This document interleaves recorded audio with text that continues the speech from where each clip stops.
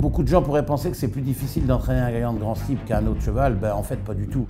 Et les ingrédients de la réussite, c'est surtout d'avoir le cheval pour. C'est-à-dire un sauteur hors pair, capable de galoper longtemps, sans se fatiguer, qui sache bien s'économiser, parce que la distance de cette course est absolument hors norme.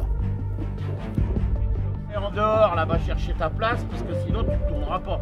hein. Si tu commences à tourner au morceau de gazon, tu es sûr d'aller à dame.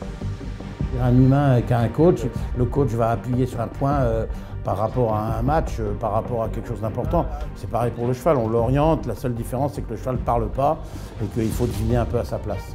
Faire il trotte pas. Il fait des petites foulées de merde.